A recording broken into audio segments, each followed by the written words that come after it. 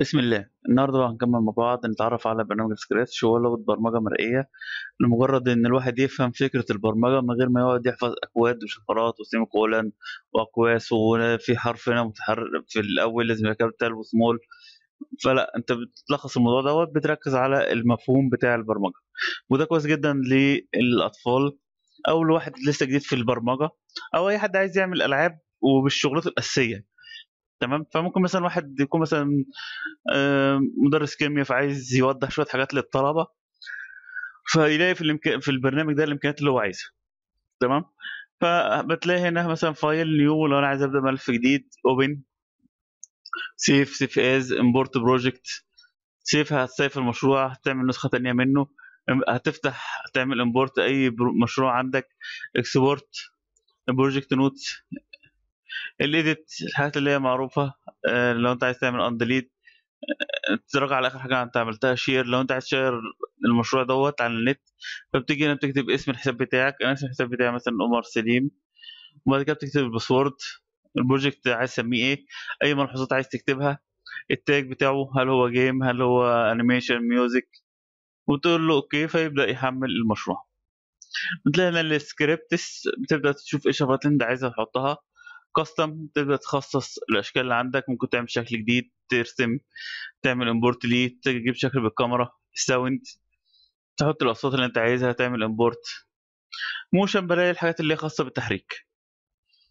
تمام يعني إيه الأوامر اللي إحنا ما خدناش قبل كده؟ أظن go to x y دي إحنا ما خدناش قبل كده. إيه الفكرة من دوت؟ أنا عايز أخلي الشكل ده يجي يبقى هنا. تمام؟ كده بالنسبة لي ده ال x وده ال y أو سين وصاد أنا فاكر مرة واحد عبقري قال لك إن الحل لنظام التعليم إن بدل ما إحنا بنشتغل سين وصاد نخليها x و y. ساعتها إحنا هنبقى زي أمريكا وأوروبا بالظبط. فيعني كان اقتراح آه، جميل يعني.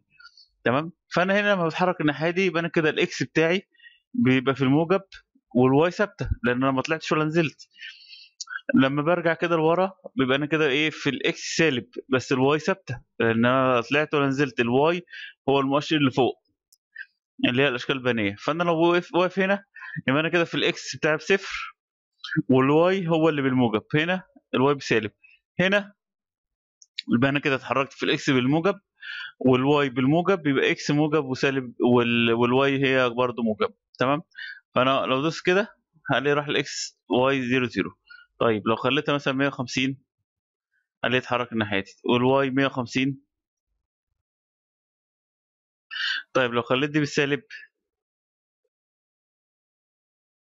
إيه اللي هيحصل؟ حاول تتخيل كده. أنا كده هرجع هنا ال x بالسالب وهطلع في ال y هنا. تمام؟ هتبقى بالشكل ده طيب.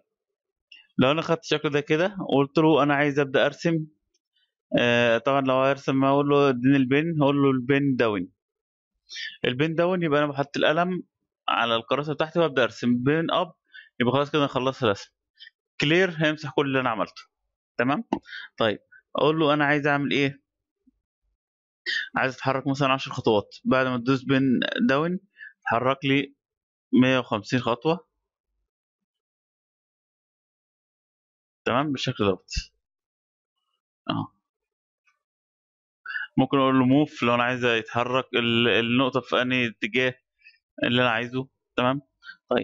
إحنا خدنا الموشن وخدنا يعني نظرات سريعة طول ما إحنا شغالين نبدا نشوف أوامر جديدة. نحاول نطبق حاجة جديدة. يعني لو انت عملت كل الأوامر اللي أنا اديتها لك يبقى انت كده ما جبتش حاجة جديدة. يعني مثلا ممكن تقول إيه طب أنا عايز أرسم شكل سداسي عايز أرسم آه، نص دايرة مش دايرة كاملة. طب تتعمل إزاي؟ تبدأ تفكر وتبدأ تبدع وتبدأ تشوف إيه اللي انت عايز تعمله وتبدأ تحققه. اللوكس هنا إحنا خدنا بعض الأوامر مش كلها برضو هنبدا نشوف إيه الحاجات اللي ما خدناش تمام؟ أنا أقول له خلي القطة تقول إيه؟ يعني خلي القطة مثلا تقول هلو. تمام؟ طيب. آه السلام عليكم. أنا عايز أشوفه بيتكلم عربي ولا لأ. تمام؟ آه. على فكرة في إصدار منه لأن هو open source فسهل الناس تعربه فهتلاقي في هنا كلمة file تبقى ملف new جديد هتلاقي البرمجة كلها بالعربي. أنا صراحة بفضل إن الواحد يتعلم باللغة العربية على أساس يستوعب المادة جدا وفي نفس الوقت يتقن الإنجليزي عشان يفهم الحاجات التانية. يعني كل واحد فينا يحاول يستوعب أكبر قدر من الحاجات الكتب بالانجليزيه ويحاول يترجمها أو يدبلجها أو يسهلها بالعربي للناس اللي محتاجينها. تمام؟ فانا قلت له كده إيه فك... اكتب لي كلمة هلو تمام؟ اهو. كده كتب لي السلام عليكم. تمام؟ طيب لو أنا عايزه ما يظهرش القط دوت هقول له hide بحيث إن أنا عايز أشتغل من غيره. بعد كده أقول له show لو أنا عايز اظهره طيب ال sound شفنا إن إحنا ممكن ندخل أي صوت ويبدأ هو يتحرك ال pen ال- القلم وتبدأ تقدر تتحكم في اللون بتاعه. تمام؟ طيب هو لسه ما اتغيرش؟ لأن حاطط اللون تحت. تمام؟ هتلاقي اللون اتغير معاك. ال size بتاع القلم بتاعك عايزه يبقى قد إيه؟ هو دلوقتي واحد. خليه مثلا 15 وتعالى هنا. هتلاقي wow. تمام؟ فدي بعض الإمكانيات. ال control هل أنت عايز تعمل آه الحدث ده يحصل إمتى؟ لما تدوس مثلا مسطره لما تعمل repeat أهم حاجة طبعا هنبقى نشوفها في الدروس اللي جاية. قاعدة if دي اللي بتميز البرمجة إن أنا أقول له لو حصل كذا تعمل كذا لو حصل كذا تعمل كذا. ده اللي يبدأ يخلي الأحداث تبدا تتحرك معاك. هنا أظن إحنا ما ردناش من القائمة ديت. هنحاول ناخدها برضه في الدروس اللي جاية. تمام؟ ال operation ده هنبدأ نحاول ناخدها معانا مع ال variable إيه حكاية بقى ال variable ديت؟ متغيرات دي حاجة برضه كويسة جدا في البرمجة. هنحاول يعني لما نفهمها هنبدأ نطبق عليها في الدروس ال- اللي قاعدة if وفي ال operation والحاجات دي. هقول له اعمل له متغير. هنسميه مثلا MO تمام؟ مثلا MO طيب ده كده المتغير بقى اسمه MO تمام؟ هو حط لي MO ب zero لسه انت ما اديتوش أي قيمه خالص. هقول له خليه الام أو ديت ده أي متغير وليكن مثلا ممكن تسميه مثلا مصاريف البيت أو المصروف اللي أبويا بيديهولي.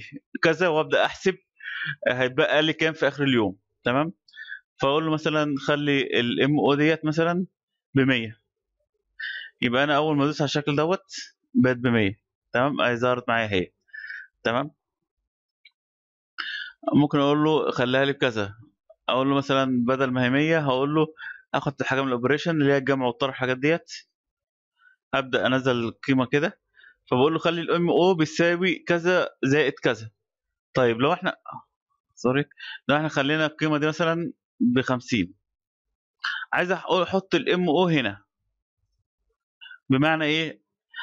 إن أنا آه لو الام أو ب 100 خليها ب 150 يعني لو انت معاك 100 جنيه أنا هديك 50 جنيه كمان. تمام؟ طيب هبدأ اسحب الام أو من هنا واحطها في الدورية دي. يبقى كده يحصل إيه؟ اول ما ادوس هنا هيشوف الام أو بكام ويزود عليها 50 اهو. بقت 150 دوس تاني.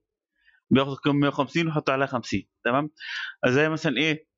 آه ممكن نضرب مثل بسيط. المدرس قال لك الدرس ب 100 جنيه فانت رحت قايل لابوك الدرس ب 120 تمام؟ فأنت تلقائي حطيت 20 جنيه آه غلاسة أو بتاع زي كده. أنا أعرف واحد عمل الموضوع دوت بس كان جريء قوي لدرجة إن هو جاب المدرس يدرس عندهم في البيت.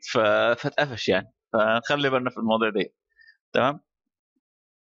دي بعض الحاجات المتغيرات دي هتفيدنا كتير جدا إن أنا ممكن أحط قيمة معينة وأقول له ابدأ زود عليها واطرح معاها و و والحاجات ديت. يعني مثلا هنعمل لعبة فضاء وأقول له مثلا الحاجات دي بتنزل لو خبطت في القطة يبقى كده ماتت تبدأ تقلل الدرجات. لو ما خبطتش ونزلت لحد تحت تبدأ تزود في الدرجات زي ما هنبقى نشوف إن شاء الله في الدروس. هو ولو تقدر تطبق طبق. يعني لو حاول كده طب تيجي إزاي؟ بحيث إن أنت تشغل دماغك وتبدأ تعمل حاجات ما قلناهاش في الكلاس. أخوكم عمر.